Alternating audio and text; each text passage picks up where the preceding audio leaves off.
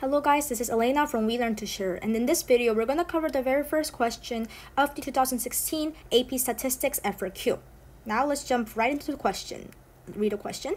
Natural gas is used in some households to heat the home, to heat the water, and to cook. A utility company sent the following bar chart to the household to show the amount of natural gas measured in therms, which is a unit of heat energy, that the household used last year. The chart shows the number of therms and the average monthly temperature in degrees Fahrenheit for each month of the year. The first question, describe how the number of therms used each month changed over the year. Well, I think this question is pretty easy, right? Because you can clearly see from January to July, it is decreasing, right? But from July to December, it is actually increasing. So, what we're going to write in the answer is the number of therms used decreased okay decrease each month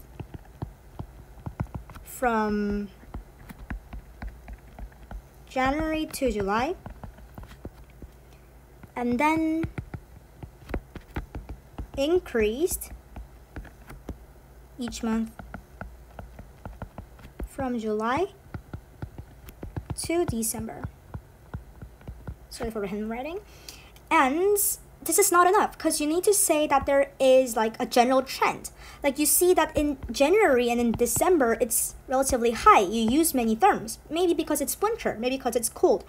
But compared to that, in like months like June, July, August, like the summer, um, you relatively use smaller amount of therms, right? You also need to say that in your answer.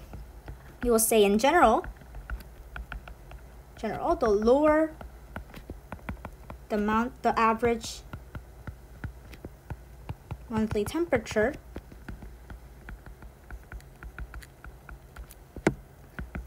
the more therms were used. And this will be your answer. The next part, it asks you to construct an appropriate graph that shows the relationship between the number of therms used and the average monthly temperature. And I would say that an appropriate graph here would be, yes, you're right, it would be a scatter plot. And if you construct a scatter plot in your calculator, it would look like this. Right, uh, both options for the order of the axes are um, shown below. So either is fine. And then you, it's time to answer the last question. Describe what your graph in part B reveals about the relationship between the number of therms used and the average monthly temperature that is not revealed on the bar chart sent by the utility company.